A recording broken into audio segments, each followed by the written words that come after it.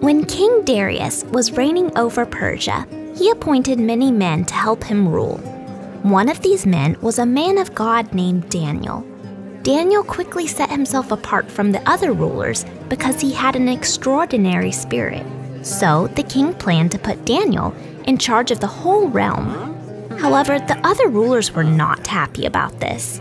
They tried to find a way to accuse Daniel, but they could not find a reason because he was trustworthy. Finally, they said, We will never find any charge against Daniel unless it is concerning the law of his God. So the rulers went to King Darius and said, O king, we have agreed that you should establish a law that says, for 30 days, any person who prays to any god or person except you, O king, will be thrown into the lion's den. And, Your Majesty, you should sign the edict so that it cannot be changed. King Darius agreed and signed the law. When Daniel learned that the edict had been signed, he went into his house. He opened the windows of the upstairs room, and three times a day he got down on his knees, prayed, and gave thanks to God, just as he had done before.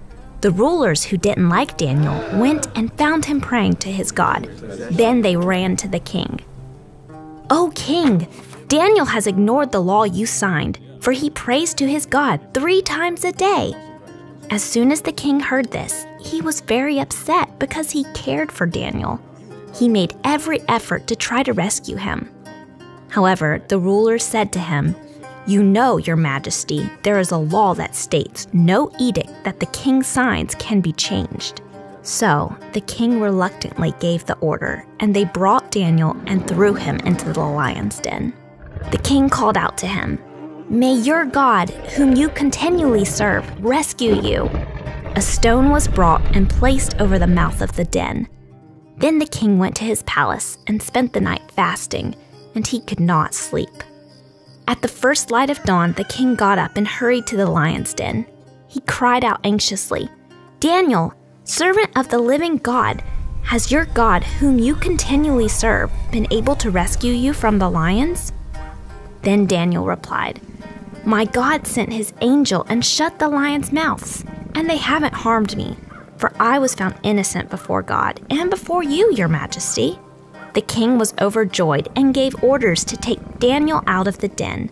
When Daniel was brought up from the den, he was found to be unharmed, for he trusted in his God. The king then ordered that the rulers who had accused Daniel be thrown into the lion's den instead. King Darius wrote, I issue a decree that all people must respect the God of Daniel, for he is the living God and he endures forever. He rescues and delivers. He performs signs and wonders, for he has rescued Daniel from the power of the lions.